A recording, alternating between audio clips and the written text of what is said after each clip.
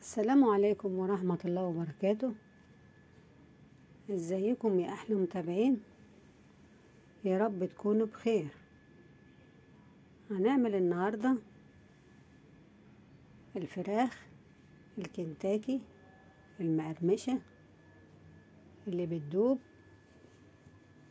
وطرية وجميلة. وهتحبوا طعمها اللذيذ. وقبل ما نبدأ الفيديو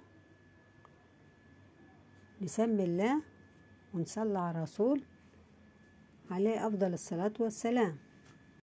يا ريت لو عجبكم الفيديو ما تنسوناش في اللايك والاشتراك في القناة وتفعيل الجرس عشان يوصلكم كل جديد. والمقادير بتاعتنا النهاردة عبارة عن طبعا فراخ بجيبها وبعمل لها محلول. بحطها في مية وملح. بحط لها ليمون وخل يعني بخليها بيضة وجميلة. مقاديرنا النهاردة عبارة عن البهارات بتاعتنا اللي هي عبارة عن بهارات فراخ أو السبع بهارات ونحط فلفل وطبعا ملح وبابريكا وتوم بودر وبصل بودر وياريت لو فصين fresh عندك أفضل كمان. ونحط كل ده في الخلاط معاهم زبدية ومعاهم كوباية لبن وليمونتين كبار ومعلقة خل. ومعلقتين دقيق وهنحط كمان معلقة نشا كبيرة وهنحط بيكربوناتو.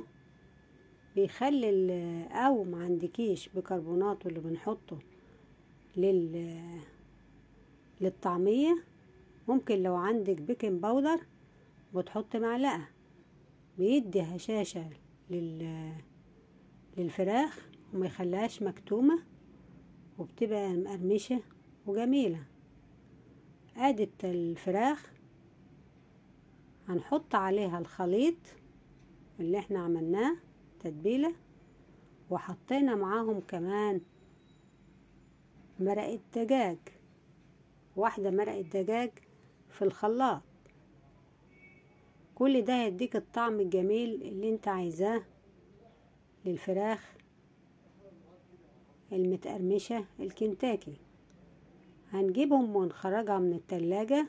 كل ما تسيبيها في التلاجة أكتر كل ما يكون أحسن. في ناس بتعملها قبلها بيوم. ممكن ساعتين في التلاجة. هنحط أهو في البيض. وبعدين في البقسماط. طبعا كل ده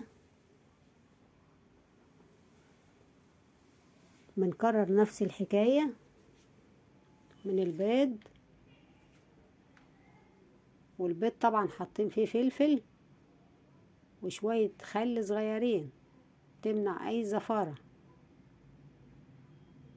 وطبعا حاطين في الخلطة دي كلها طبعا ملح.